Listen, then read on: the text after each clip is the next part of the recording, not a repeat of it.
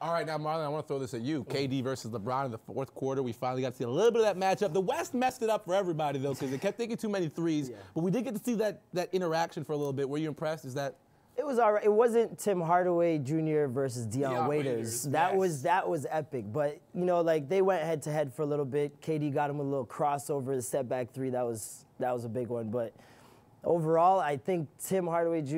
and Dion Waiters. That was that was That the one. I. Okay, wanted. we'll get into that one. But for you two guys, I mean, we, we get the report coming out of the weekend. You know, Kevin Durant is tired of the comparisons with LeBron James. But I mean, dude, he's the guy right now, and you seem to be embracing it when it comes down to shooting threes in the All Star game all night. Well, yeah, and both those guys, I mean, effortlessly almost got a triple double in the All Star game. Granted, there's no defense, No. but really, when those two were matching up, though, how much D was LeBron really playing?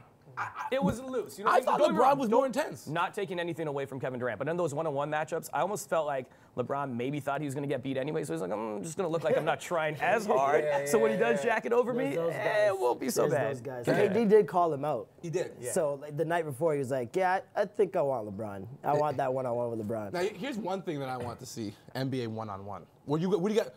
LeBron James, Kevin Durant, All Star Weekend, like a tournament-based type deal. You guys feeling that? like a King's Court King- type of King of thing. the Court. That could work. That could It'll work, but that'll get hectic, man. it's a like you know, cause like, like Sneaker 'cause- companies listen, no, like, 'cause nah, what- like if it's the seven, once you get to that six six, you know what I mean? That's when it like it turns into championship teams, you know? And Like, sponsors will be like, Super "Oh, yeah, you yeah. can't lose Nike, this Nike game." looking like you know, Nike looking crazy over there. All right, you know? listen, I know you guys want to talk about the dunk contest, so listen, when we return here on House of Hoops and Foot Locker, we'll be talking about the 63rd NBA All Star Weekend and the Dunkers.